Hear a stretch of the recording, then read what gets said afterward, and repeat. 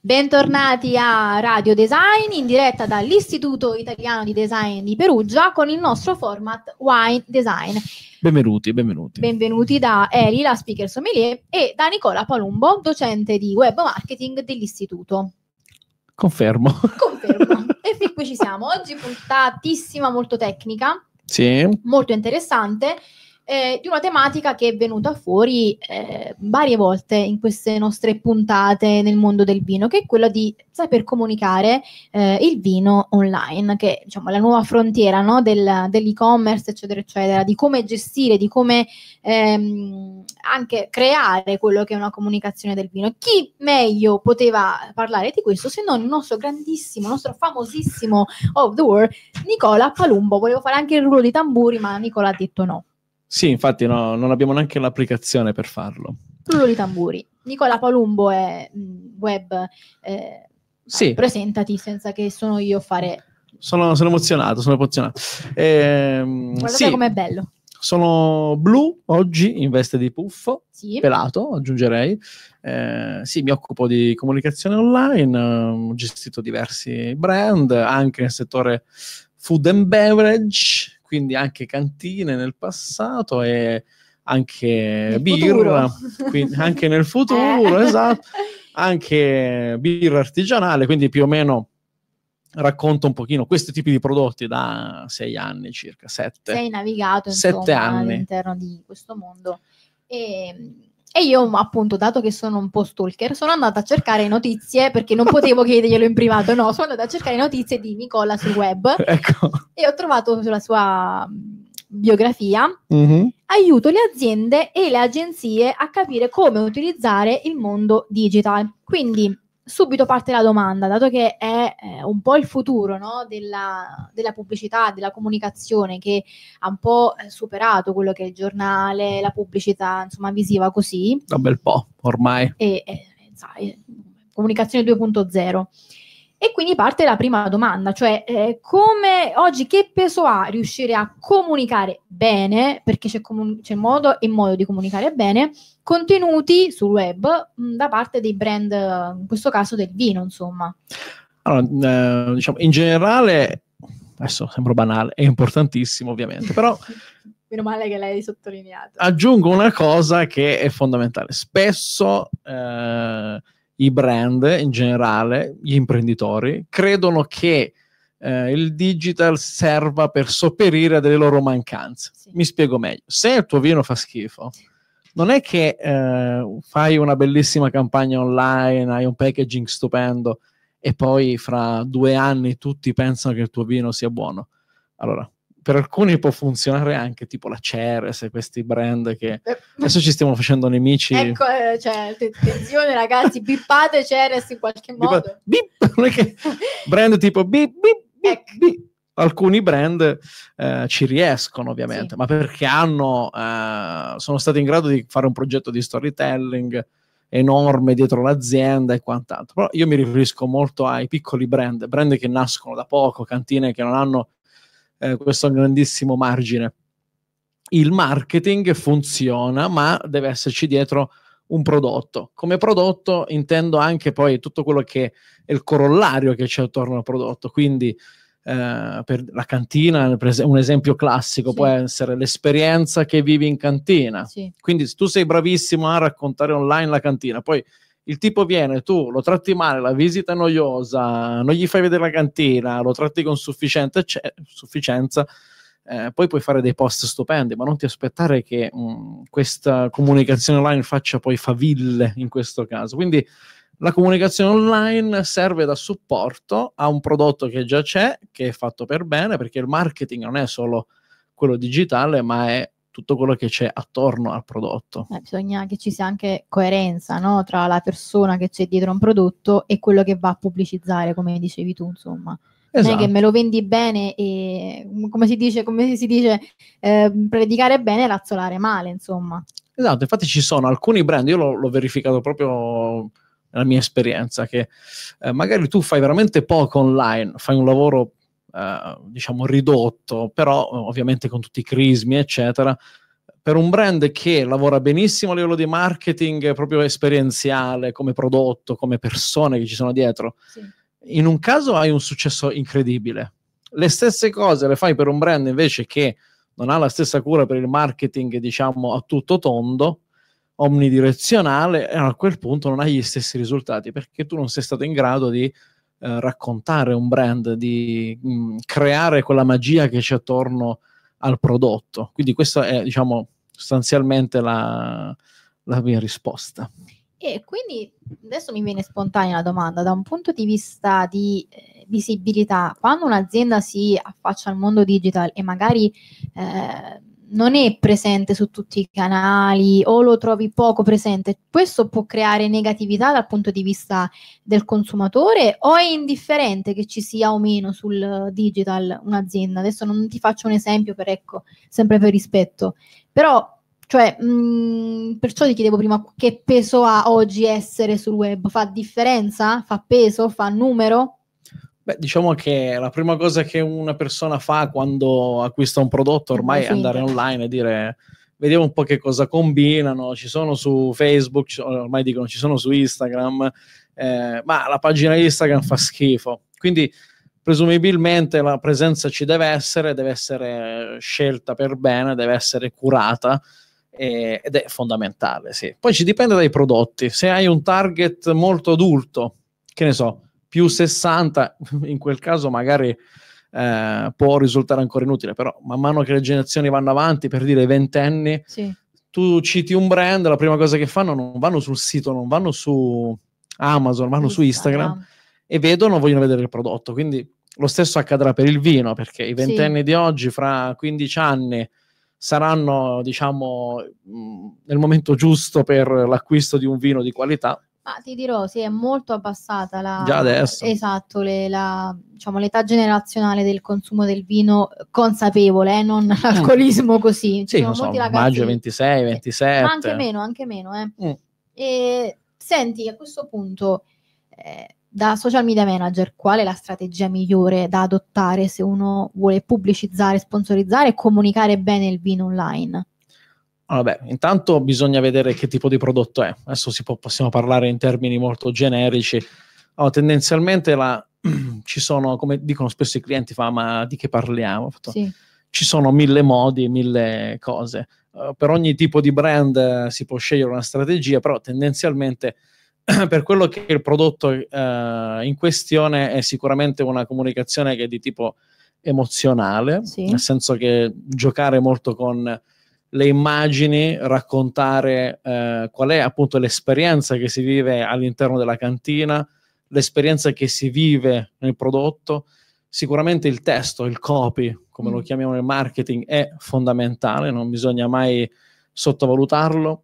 Ovviamente bisogna sempre in base al tipo di prodotto scegliere eh, un tono di voce, no? come raccontare le cose. Ah, sì, assolutamente, comunicazione verbale e non verbale, anche quella è importante. Esatto, poi ovviamente parlando sempre del digitale eh, dipende, se sei una cantina che eh, basa il tuo prodotto, spesso ovviamente le cantine puntano molto su un linguaggio elegante, poetico, perché alla fine il vino rievoca un pochino eh, tutto questo, no? è sì, un'esperienza sensoriale, quindi si cerca di rievocare sempre con il testo qualcosa che, sia, che riguardi questo, però potreste appunto scegliere come brand di giocare magari sull'umorismo, che è una mm. cosa che magari non fa nessuno, sì. eh, mantenendo sempre un prodotto alto, però differenziarti dagli altri. Quindi Spesso... Fa la differenza riuscire anche a differenziarsi oggi. Beh sì, perché spesso quello che si nota è che le cantine puntano tutte su, diciamo, sono un po' piatte come comunicazione, ma un po' ci sta anche perché uscire poi troppo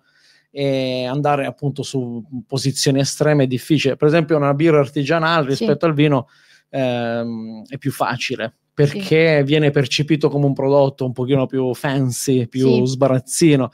Il vino purtroppo o ha ragione, è ancora molto legato a un mondo un po' più raffinato, cioè non è che serio, ti metti con insomma. il calice a bere sulle scale con la birra, lo puoi fare, quindi ci sta. Quindi devi sempre ragionare su questo vino, dove viene bevuto, da chi viene bevuto, qual è il tuo target, quali sono le persone che vuoi raggiungere. Magari vuoi raggiungere un pubblico più giovane, allora potresti giocare con le etichette, potresti mm. usare un linguaggio un po' più fresco, sì. diciamo, E anche lì a questo punto scegliere un tono di voce che sia molto più eh, leggero, che non, non, vada molto nello specifico, nel tecnico, come spesso accade, no? perché sì. eh, si pretende appunto che i clienti sappiano cosa è un blend, eh, cosa siano questi termini tecnici. In realtà non è così perché il grande pubblico non, magari non è fissato come può essere un sommelier mm-hmm. che conosce, che sa già che cosa vuol dire la fermentazione nella bottiglia, battonage, tutte queste cose. Quindi attenzione a usare un gergo che sia aperto al tuo tipo di target. Quindi anche lì la strategia varia in base a, a queste al cose. Al pubblico, certo, deve, deve, comunque abbracciare un pubblico vasto che ha una età che varia dai 20 fino ai 60, facciamo così, ecco. Esatto. E quindi avere un linguaggio adeguato per tutti. Poi sicuramente il, diciamo, il linguaggio universale del vino probabilmente sì. è il linguaggio dell'immagine, perché ovviamente il gusto... Ovviamente eh, quindi testo con l'immagine, ma anche il vino. Spesso eh, per questioni di budget non si ricorre spesso al vino, però secondo me è un errore. Io adesso cito il più grande marketer della storia sì. recente che Gary Vaynerchuk si chiama così, questo nome stranissimo, che era un tipo che lavorava per uh, suo padre che aveva un'enoteca. Sì. E allora cosa fa lui negli anni 90? Dice ok, basta, adesso faccio ogni giorno un video su YouTube e racconto un vino. Mm. Ok? Lui è partito in questo modo, la sua enoteca, eh, piccola enoteca di New York, poi non so quanti punti vendita ha aperto, lui ha cominciato a fatturare milioni di euro, di dollari, e oggi lui è il più grande consulente di marketing eh, insieme a altri 4-5 nel mondo, ed è partito dal vino, incredibile. E, e lui ci insegna, il grande Gary, che eh, il linguaggio visuale è fondamentale, quindi soprattutto il racconto. Sì. Alle persone interessa essere educate, tra virgolette, sì. su un prodotto. Quindi, eh, per esempio, il consiglio che do sempre è, eh, ovviamente poi qui ci sono sempre delle, eh, dei problemi che riguardano il fatto che magari un imprenditore non vuole comparire in video, non ci sì. vuole mettere la faccia, sì, e questo è il più grande ostacolo per chi fa il nostro lavoro. Eh, però è fondamentale perché se tu fai un video dove racconti il tuo prodotto, sei tu che l'hai prodotto, eccetera, funziona sempre tantissimo e, eh, ed è dimostrato proprio. Quindi usare moltissimo le immagini, i video e il racconto fotografico e mettere in evidenza chi c'è dietro il prodotto, quindi le persone. Sì, perché dà una dimensione reale no, del prodotto, se si riesce a vedere la persona, magari ecco l'accoppiata persona vino, donna vino, uomo vino, vende di più che vedere magari la, la bottiglia settica. Esatto. A livello proprio comunicativo, tralasciando eh, gli aspetti magari di, di Instagram, di alcuni profili che vogliono ecco, soltanto concentrarsi su, eh, su quell'aspetto. Noi parliamo di comunicazione volta a un pubblico vasto. Esatto. Quindi in quel caso abbiamo bisogno di avere un'immagine anche umana dietro la bottiglia. Esatto. Infatti magari si può anche notare proprio questa cosa nella comunicazione classica degli anni 90 o anche prima dove si dava anche nella pubblicità mh, televisiva grandissimo risalto proprio a, al prodotto stesso. Sì eh, rispetto alla persona. Sì. Con i social media il ruolo della persona è emerso in modo preponderan- preponderante nella comunicazione e deve essere sfruttato al massimo. Quindi sfruttate l'immagine proprio di chi lavora, le persone vogliono sapere chi c'è dietro al brand, quindi l'immagine dell'uomo che lavora nella terra, sto banalizzando, eh, l'enologo, chi è l'enologo, qual è la sua storia, che cosa fa cioè raccontate tramite immagini, video, ogni cosa. Sì. C'è un sacco da raccontare. Ok, poi ogni, ogni, ovviamente c'è Giuseppe Wine Experience che saluta, come anche altri. E poi ovviamente ehm, spesso la comunicazione, ricordatevelo, non deve passare solo dai social media, ma dai canali proprietari, che vuol dire che magari i social media domani spariscono ah. o cambiano o ne emergono di nuovi, come sta accadendo ora che siamo arrivati in una maturazione di questi canali. E quindi è fondamentale avere un canale diretto con le persone. Sì. E non a caso il podcast, questi nuovi tipi di comunicazione, quello che stiamo facendo anche noi, sono dei canali vostri proprietari, cioè il video è tuo. Sì. eh, tu usi una piattaforma, ma il video comunque l'hai realizzato tu, si trova lì e lo puoi caricare sul tuo sito web. Quindi io consiglio sempre di mh, mm, non dimenticarsi che i blog o comunque, infatti avevamo qui eh, l'altro giorno Giuseppe, giusto? Mi ricordo bene? No, uh, Time in Time. Sì. Sì, sì. Ho lui che ha un blog. Ecco, il blog non è morto, ma anzi eh, tornerà, tornerà no, sicuramente. Infatti dopo con Giuseppe parleremo del blog, perché lui ha aperto un blog e andiamo a capire quali sono le dinamiche che ti portano ad aprire un blog. Esatto. Senti, stavo appunto ragionando e pensando a quello che hai accennato poco fa, no? di rendere umano uh, la vendita di un prodotto e pensavo a un famoso prodotto americano, una bibita, che eh, l'ho letto un po' di tempo fa. All'inizio appunto lanciava questo prodotto, eh, questo grande rosso che vedevi, bottiglia asettica, insomma pubblicità così. Quando poi negli anni 90 ha cominciato ad inserire eh, all'interno delle pubblicità la famiglia e c'è stato il boom economico di questo grande marchio. Quindi, come dire, la dimensione umana, relazionale, mh, forse in America è arrivata prima, ma in America si sa che Beh, questo infatti... punto comunicativo sono un po' più avanti, però è quello che noi vogliamo riuscire a, mh, nel piccolo oggi nostro, di, ecco, di dire agli altri che metteteci la faccia, tra virgolette, no? Infatti, questa è una cosa che mi lanci la palla incredibilmente perché, yeah! yeah perché tra uh, diciamo i modi di comunicare il vino, come anche tutti i brand, i primi sono stati quelli che riguardano, mm, diciamo, il turismo è stato il primo sì. mondo a muoversi in questo senso con i block tour. Sì. Eh, ma oggi è una cosa che è evidente, che vediamo ovunque, è che eh, l'influencer marketing la fa da padrone. Dicevo, le immagini, le persone, chi se non eh, il, l'influencer marketing eh, può fare questo, perché sostanzialmente eh, i vini si, adesso si possono raccontare, come anche altri brand, tramite gli esseri umani, cioè gli influencer. Guarda, neanche a farla apposta è la prossima domanda che avevo in scaletta, quella dell'importanza che ha oggi l'influencer marketing, no? Che oggi magari è un po' abusata questa parola di influencer, qualcuno si sente quasi tra virgolette offeso quando viene definito influencer. Allora io ho deciso di chiamarli broker, visto che vi, non vi piace influencer. I broker? I bro- cioè interpreti no? tra il, il produttore ah, e il consumatore.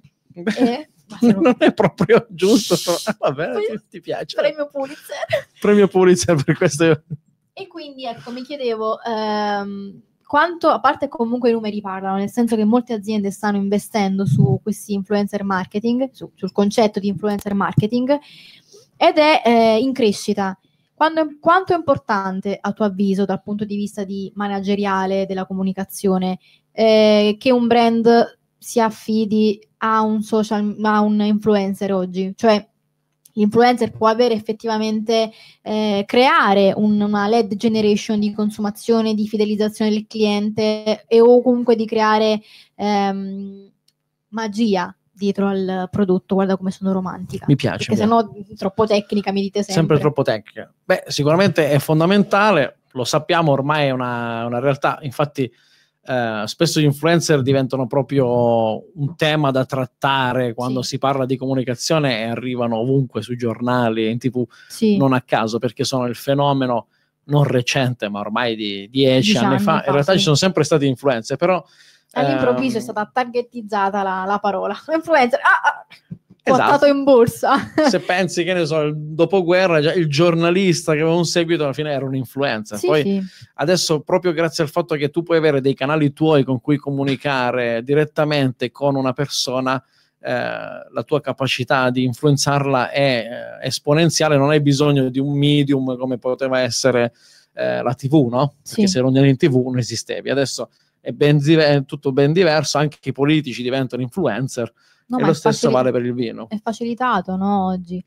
Pensavo no, che è sempre esistito influencer. E immagina i programmi di cucina degli anni 80-90 in cui esatto. avevi la nonna che puntualmente ogni giorno ti faceva le zucchine alla scapece e tutti i prodotti così. Se Anche... Non so cos'è la scapece, poi me lo spieghi.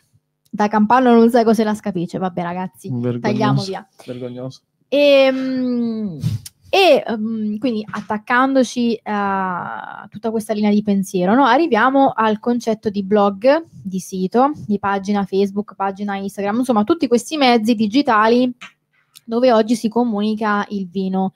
Ehm, che è un po' come dire il parallelo di comunicare bene un packaging di un vino, no? Esatto. Un'etichetta. Quanto è importante oggi eh, contestualizzare bene il sito, il blog, riuscire a rendere un'immagine, eh, anche layout, i colori, la scrittura, l- l'impostazione, quanto oggi eh, ha peso anche, no? Farlo per bene. Allora, ha avuto sempre peso, ma oggi ancora di più. Non a caso ci scrivono libri e c'è questo famoso eh, nome un pochino strano che aleggia, che si chiama neuromarketing. Bellissimo. Scrivono, molto bello. Ci scrivono, salutiamo il professore Salve. di storia della filosofia. E, è fondamentale, ci sono un sacco di libri e, ehm, e scoprire, leggendo questi libri come quello di Andrea Saletti, che è il più grande diciamo, esperto italiano in questo settore italiano, che tra l'altro è uscito con un nuovo libro, se riusciamo a intervistarlo sarebbe una figata. Eh, spiega proprio quanto sia importante ogni singolo colore, niente è banale, niente è lasciato al caso, eh, quali sono tutte le strategie che ci sono dietro eh, ovviamente spesso si fa questo errore, cioè ovviamente ci sono problemi di budget, però spesso si dà moltissima importanza solo ai social media dimenticando invece che come dicevo, i canali proprietari, come per esempio una newsletter che rimane sempre tua perché sì. la mail non muore mai, ce l'abbiamo dagli anni, da quando siamo nati e non l'abbandoniamo, mentre magari Facebook ci annoia dopo un po'. Sì. Quindi la mail, questi sistemi di, per raggiungere direttamente una persona, averla sempre a contatto, come il telefono per esempio, sì. eh, sono i canali migliori per raggiungerle. E quindi quello che volevo dire è che è fondamentale fare una comunicazione che sia omnidirezionale, cioè non fare solo Facebook e poi dimenticarsi che ci sono le newsletter, che c'è il blog, che le cose del blog possono essere utilissime perché restano lì per sempre, mentre il post di Facebook dopo 5 ore è sparito e non ti rimane più nella mente, no? Mentre un post di un blog lo puoi far vivere e rivivere mille volte. Quindi eh, il consiglio è comunicazione omnidirezionale.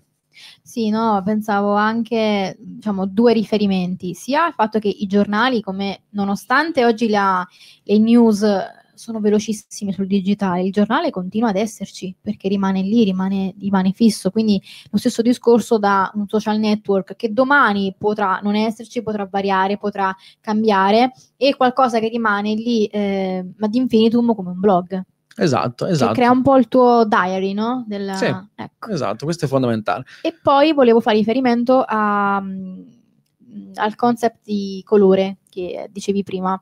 E infatti mh, mm, Facebook è blu. Perché è blu? Perché è stato studiato che il blu crea una sorta di eh, tranquillità nell'utente, quindi è come se fosse invogliato a stare su un social network che già visivamente, proprio a livello ne- neuroscientifico, ti crea una sorta di, di calma, di quiete. Eh, quindi, insomma, è tutto fatto. Tutto studiato. Tutto studiato. Anche io sono blu oggi. Anche io sono blu oggi. Siamo tutti e due blu. Infatti, vi sentite un po' calmi, un po'. Stiamo parlando anche un po' blu, ti oggi. sentiamo un po' blu. Ehm, ok. Chiamo l'ospite intanto. Sì, Giuseppe ti stiamo chiamando. Io nel frattempo ti faccio l'ultima domanda, ma è una domanda molto, sì. molto easy. Eh, quanto è importante... Ehm... Uh, c'è un bambino col cosa orsacchiotto. Attenzione, abbiamo una chiamata in diretta. Hola.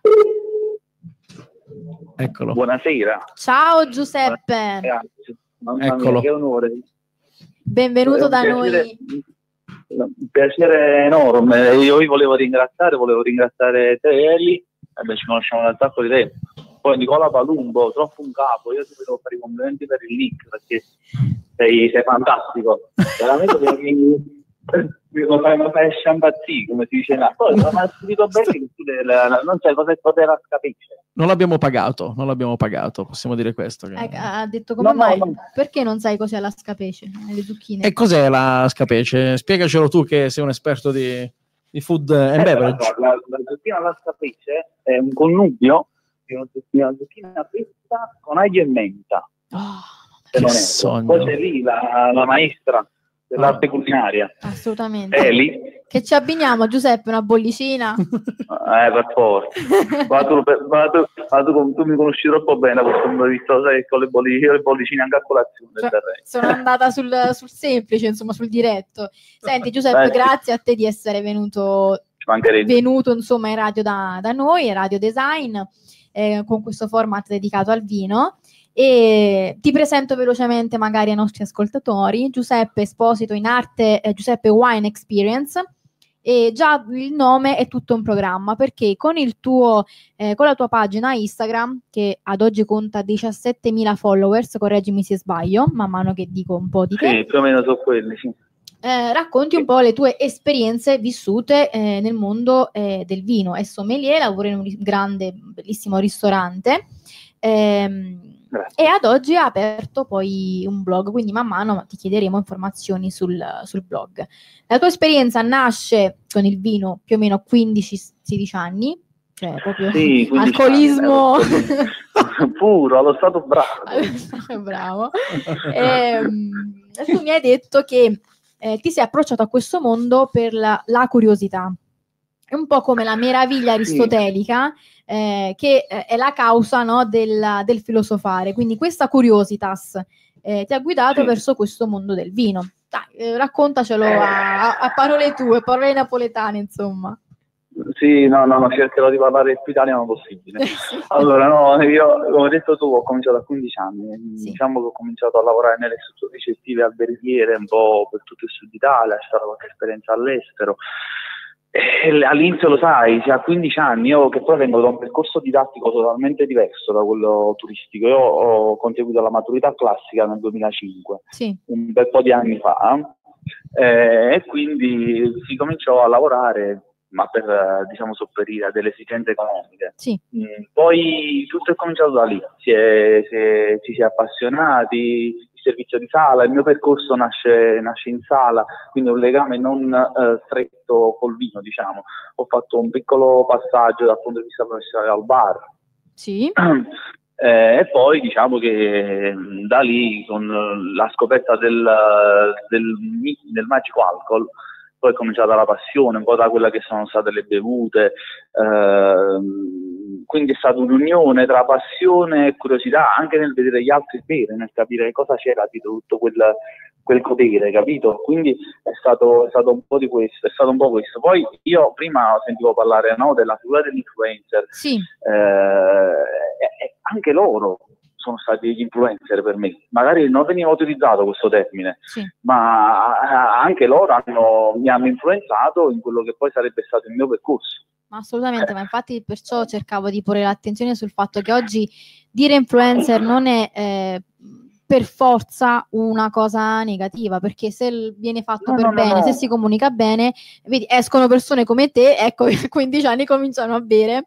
E, eh, No, ma il problema, il problema è un altro, il problema è il come. E poi- Esatto. Poi, magari ne parliamo dopo, quello, Sì. quella è la, è la problematica. Sì, sì, Comunque, poi ci sono stati i primi corsi. Eh, il terzo livello ICE ho seguito un bel po' di tempo fa, abbastanza giovane, e io comunque ho avuto delle persone di riferimento. Sì. Eh, anche la- il più grande influencer, anche se parliamo di influencer, il più grande influencer, anche se non è mai stato definito così, per me è stato Veronelli. Ma stiamo parlando di livelli spaziali, pers- persone a cui non posso nemmeno dire di eh, ispirarmi, perché sono dei modelli a cui non si può ispirare nessuno. Certo. Gino si nasce, eh, eh, quindi diciamo che però eh, nel mio piccolo ho cercato di, di creare, quando, non mi ricordo, erano 4-5 anni fa, questa pagina Instagram che un po' è nato come un profilo mio privato, infatti vai a scavare le prime foto c'è la foto del mio, del mio cagnolino. Sì, Per un po' dire, come no? tutti i profili, insomma, almeno quelli là che hanno- sono nati qualche anno fa, sono tutti un po' impostati su cagnolini, gite, mare, poi all'improvviso, po', vino da una marea di vino. Senti, Sì, quindi sì, diciamo sì, diciamo sì. Tu l'hai aperto, mi, dis- mi raccontavi, tra il 2014 e il 2015. Ehm, è iniziato come il profilo personale di Giuseppe Esposito per poi mutare, cambiare, e progredire. Eh, però Sì. come Giuseppe Wine Experience, oggi qual è eh, l'obiettivo che ti sei posto eh, per questo profilo? Perché alla fine eh, posti quotidianamente dei contenuti sul vino, interagisci con il popolo di, di Instagram creando appunto una comunicazione digitale continua. Quindi qual è effettivamente il tuo eh, obiettivo ad oggi? Allora, il mio obiettivo, ti dico la verità, ad oggi non ne ho uno ben preciso. Ti sì. spiego perché eh, anche dal punto di vista caratteriale sono fatto così, vivo alla giornata. Eh, quello che però ho sempre voluto dare, tu lo sai perché sei stata una delle prime persone che mi ha seguito, eh, è, è un'esperienza emozionale. Sì. Quello che ho sempre criticato al social, ma non al social eh, in sé per sé, un po' come quando all'inizio si facevano le critiche al social Facebook, no? che poi sono andate a scemare perché il fenomeno Instagram è aumentato. Eh l'esperienza che ho cercato di, di, creare è stata emozionale perché il didattico e il tecnico a volte viene raccontato mio, dal basso della mia esperienza, lo dico sempre, in modo errato. Sì. In, in modo errato per due motivi, perché non c'è emozione. Ok, diciamo, l'emozione che diceva se, anche prima Nicola, no? con un contenuto emozionale. Ma sì, ma sì come, come, diceva prima Nicola, il contenuto emozionale non c'è. Non c'è, non c'è una linea io non po- posso pure non emozionare, io dico, dico sempre, posso, ci sta pure chi magari non, non, prova nulla nel seguire, però io ho, ho provato a creare un, un'identità ben precisa, sì. altrimenti, altrimenti mh, seguire me o seguire Tannico o seguire un'altra cosa sarebbe stata la, la stessa e unica cosa. L'importante è che come, come quando io comunico, eh, tu, se tu per esempio eh, faccio, faccio, una domanda, se tu vedi un post sì e, e ti, ti, ricorda un mio post, tu pensi a me. Sì. Se tu pensi, se tu ricordi, se tu immagini, immagini il mio livello di il mio tipo di scrittura e un altro, magari mi puoi anche confondere. il fatto che io possa essere riconosciuto, a me questo mi fa piacere. Cioè, capito? È una eh, personalizzazione poi, del tuo modo di comunicare su Instagram, in pratica. Personalmente sì, ma all'inizio è nato come la voglia di dare voce alle piccole aziende, perché sì. eh, le piccole aziende a volte non hanno nemmeno la possibilità, ci sono aziende come, come alcune in campagna che uh, producono 8-9 mila bottiglie, fanno numeri modestissimi Limitati, a sì. livello vini eccezionali, ma non hanno nemmeno la pagina Facebook. Sì. Non nemmeno la pagina Instagram e a volte io ho visto che ci sono uh, nei, nei, post precedenti ho parlato spesso di vini no brand anche se i vini no brand non esistono perché tu, tutto ciò che si, si, vede è un brand tutto ciò che si vede è un brand. Tutto ciò Ma che è sul mercato è brandizzato. è sul mercato. Sì. però ci sono delle aziende che non hanno che pur avendo dei prodotti eccezionali vengono schiacciati da quello che è il potere economico delle grandi aziende che oltre a non essere più legati al territorio, ma dalla, dalla Sicilia alla, alla Val d'Aosta, pur non essendo, riescono a comunque, grazie a quello che il brand che negli anni, magari, magari penso alle grandi aziende della Sicilia, negli anni 80, negli anni 90 hanno massificato tutto e adesso vanno avanti per inerzia. Ci sono dei vignaioli che non conosce nessuno e il mio primo intento, uno dei, dei miei primi obiettivi è stato questo è stato, è stato quello di, di, dare voce alle piccole aziende. Eh, la, la, particolarità sta nel fatto che, a mio modesto parere, a livello comunicativo, eh, in, sulla media è di basso, è di basso, veramente di basso livello. Sì. Cioè, ci, ci, sono tantissime, eh, ci sono tantissime persone che nel mondo vino contano, sì. ma contano veramente, e hanno 500-600 follower, quindi diciamo che è anche inversamente proporzionale, questo poi è un fenomeno, fenomeno da, da, da, valutare, perché io se penso eh, ad Armando Castagno, sì. per dire, uno dei più grandi conoscitori di Borgogna, a, a prende 30 like a foto, però è una persona che nel mondo vino conta, che ha fatto dell'indipendenza comunicativa sì. un, una bandiera, una bandiera. Quindi um, questo, questo, è quello che mm, a, a, volte dico, sai, ma perché hai voluto costruire un blog? Sì, e infatti quello questo che ti volevo chiedere, no? Mm, da dove nasce la voglia, la volontà di creare il blog che si chiama eh, Vinocratici, però prima sì. di arrivare io eh, ringrazierei Titti perché alla fine siamo qui perché Titti è stata con lei un pochino che ti ha spinto a buttarti questo, su questo mondo del blog e eh, quindi sì. ciao Titti. E quindi come nasce questa voglia di, di creare un blog che eh, si collega alla tua volontà di comunicare anche dei p- piccoli brand in un mercato non concorrenziale, quindi non c'è l'ottimo paretiano, senti, senti come sono tecnico. Certo. E, um, quindi ecco, parlaci un pochino del, del, tuo blog, di come l'hai impostato a livello comunicativo, cosa avete scelto come colori, ehm, i contenuti, come vengono organizzati, se avete un calendario ehm, per pubblicare, no? prima ti volevo chiedere quanto è importante avere un calendario eh, certo. dei prodotti comunicati. Eh, vabbè, certo, certo, il no, calendario ci sarebbe fare un discorso, però varia sempre da cliente a cliente. Quindi... La domanda difficilissima, insomma. No, è che purtroppo nella comunicazione, se non hai, cioè, devi ogni volta puoi dare dei suggerimenti generici, ma sì. poi ogni cliente ha le sue esigenze, cioè metti magari un'azienda che ha delle particolarità, allora nella rubrica che scegli per il calendario editoriale dici che ne so, ogni mercoledì sì. veniamo fuori con la fattoria didattica, sì. per dirti, no? Però magari quelli producono, qualcuno produce solo vino, allora devi cambiare, variare in base a una specificità. Magari hanno un enologo che è famosissimo, allora decidi di spingere molto quel tipo di sì. contenuto, quindi cambia certo. tutto in base al tipo di cliente. Invece per un blog, a tuo, a tuo avviso, quanto dovrebbe, quanto o come dovrebbe produrre? Ma anche qui cambia sempre il discorso perché eh, se tu decidi di fare un, un blog che è molto verticale, cioè che parla di un tema molto specifico, o decidi, come fanno alcuni blogger, di fare dei contenuti che sono eh, molto, diciamo, elaborati, sì. anche per dirti un articolo di un blog può rispondere a una domanda semplice come come si posta da browser su Instagram, adesso sì. cito i miei casi. Però potresti anche fare un articolo di un blog che è come gestire un account Instagram. Allora a quel punto puoi scrivere un post di un blog che sia lungo boh, 7.000, 8.000 parole. Quindi sì.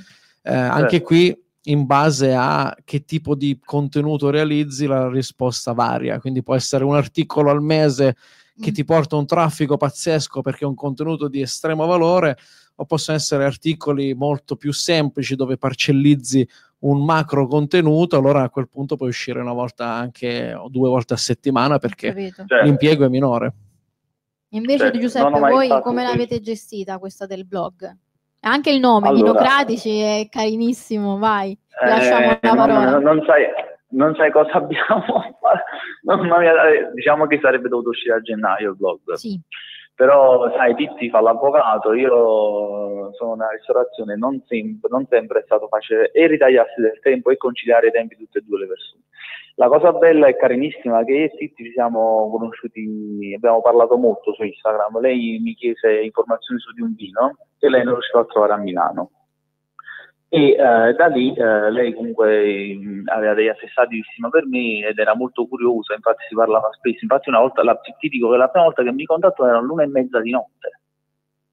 Sì. Ma, ma, chi è? Eh, e poi, sai, da lì eh, cosa nasce cosa? Sai, mi piacerebbe scrivere un blog, l'ho sempre, l'ho sempre voluto anche perché lei è agli inizi con, con l'ICE, quindi sta studiando da poco, sono molto preparata, tecnicamente molto brava. Sì. Uh, quindi da lì ci siamo conosciuti, siamo andati a pranzo, eh, abbiamo impostato un po', un po', il tutto. Diciamo che i vinografici per, uh, l'abbiamo scelto come nome anche per, dare, per esprimere il concetto di vinocrazia, cioè la, l'allargare il vino a tutti. A tutti. Però qua si, si, entra, si entra in, una, in, un, in, un, discorso abbastanza particolare.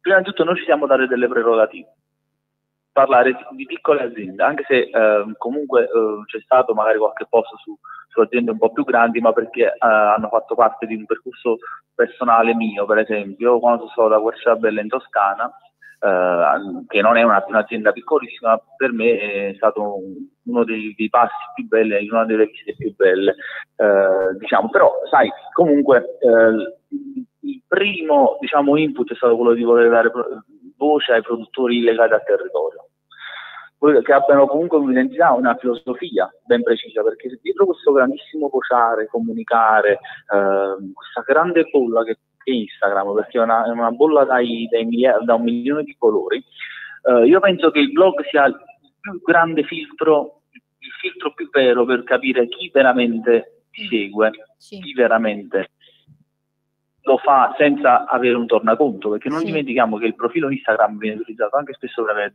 dei, dei, tornaconti, ci sono dei gruppi di engagement, ci sono dei, dei, gruppi dove uno posta e tutti gli altri commentano a convenienza, diventa un dovere, diventa, diventa un macello, cioè ti dico che postare, fare, fare, un post là diventa difficoltoso, invece con il blog abbiamo voluto creare un'area tutta nostra, sì. indipendente, sì. indipendente, dove eh, abbiamo inserito uh, anche ma, magari tutti i percorsi emozionali legati al vino, sì. e, eh, la ristorazione, anche se ci sono magari c'è una sezione di enoteca e enofood, sì. magari eh, spesso colleghiamo il vino al ristorante in cui lo abbiamo, lo abbiamo bevuto, sì. recensendolo, c'è una, c'è una sezione dedicata ai viaggi, una sezione dedicata ai viaggi italiani, viaggi in Francia, viaggi in tutto il resto del mondo.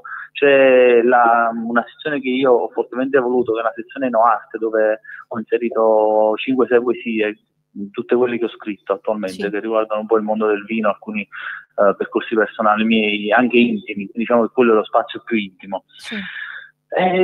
La cosa bella è stato, è, stata, è stato creare un layout particolare. Se Sì. tu dai, vai sui, sui vinogradici.it, è un sito molto semplice. Sì, sì, sì, sono- ho, ho notato.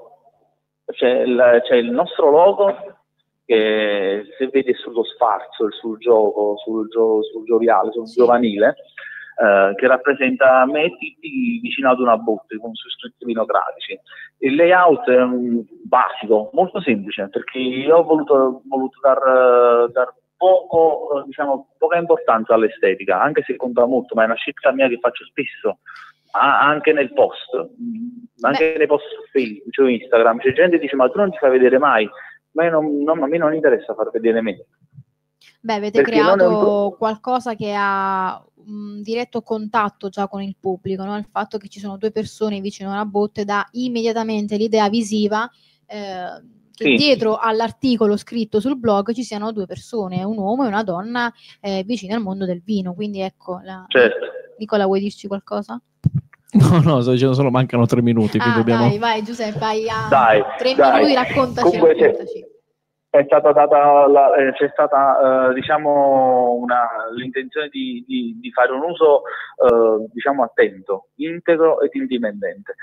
Per quella, eh, soprattutto la voglia di non parlare solo di aspetti tecnici, ma Sì. di parlare di contatti col- con chi vino lo fa. Sì, Perché Sì. mo- spesso- spesse volte io parlo con i PR delle aziende, sì, aziende che decidono di inviare cartoni sì, e di far postare gente. Per me che dell'indipendenza, proprio dell'indipendenza diciamo, dell'opinione, per me questa è una cosa che non, non- non andrebbe mai fatta, perché io ho sempre, sempre dato importanza a quella che è la visita in cantina, perché sa- è l'unico metodo, l'unico modo per capire una persona, un vignaiolo, Beh, eh, però se come magari vinifica. geograficamente sono distanti, in realtà vuole essere comunicata da un influencer marketing, no? Adesso eh, siamo un po' più tecnici e meno emozionali, comunque può essere un buon eh, metodo. Adesso io Assolutamente. un'ipotesi, Ah, no? può anche essere un buon metodo, però sai che dietro ci sono degli interessi. E quando, quando tu eh, magari vai a, a- a- a- tu individui 10, fo- 10 influencer, Sì, mandi il vino a 10 persone, sì, tu, beh, tu ti rendi conto del fatto che comunque dietro una, un- in una settimana, se quelle 10 persone postano 10 vini uguali, tu un'idea te la fai. Sì, un'idea la fai. Quindi magari però tu il contatto col vignaiolo non l'hai avuto, tu non hai avuto quel trasporto emozionale che io magari ho avuto quando sono stato a Valle Reale o quando sono stato in Sicilia, per dire, no? sì, sì, Quindi diciamo che eh, eh, questo a volte sai, tu dici mamma ma come sei critico oggi? Perché a me a volte è proprio, è proprio il, il- il ruolo dell'influencer che mi preoccupa, che ti capito? A volte ti- mi preoccupa perché ehm, secondo me il grande valore sarebbe quello di invitarmi in vigna, perché parliamoci chiaro, oh, per quanto uno possa, io vedo tantissimi ragazzi su Instagram, sono bravissimi, no? c'è Cippo, c'è, c'è gente che veramente si impegna Salutiamo dietro e Cippo comunque e viaggia. tutta- Eh, comunque è una scelta, il vino, cioè, il vino è viaggio, il vino è scoperta, quindi cercheremo di fare questo, dai. Io tenderò a, a dar valore alla sacralità del vino, più che altro. Sì. Sono tre gli elementi, la sacralità del vino, l'indipendenza della comunicazione e l'obiettività del giudizio. Beh, quindi alla Questi sono fine, i tre- ricollegandoci a Nicola, una comunicazione de- deve essere emozionale, a prescindere. Sì, Esatto. io ci provo, ci provo, ci provo perché mm, eh, è l'unico modo in cui provo a farlo, in cui penso di saperlo fare.